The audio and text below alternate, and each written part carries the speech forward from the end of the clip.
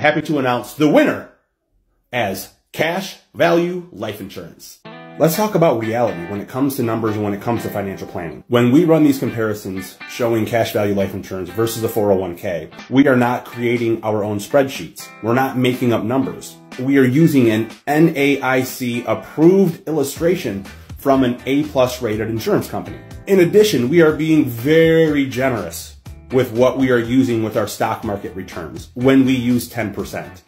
The truth of the matter is that the annualized return of the S&P 500 since the turn of the century, 22 years, the CAGR is only 7%.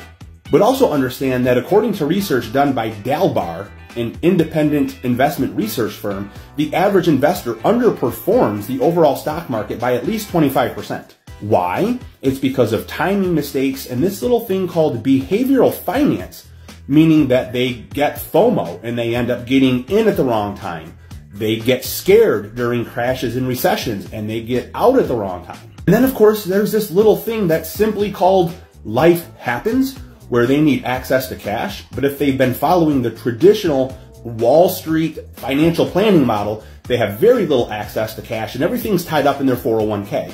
So then when they go to pull money out of that 401k, they're getting hit with a 10% IRS penalty, they're paying 15 or 20% income tax, and if they're doing it during a recession or a down period, then they're also locking in losses. So it's like they're constantly taking four steps forward and then three steps back. So to summarize, with our life insurance projections, we're being very, very realistic, if not conservative. And with our stock market projections, we're being very, very generous. And guess what? Life insurance retirement income still destroys the retirement income from a 401k. And that's why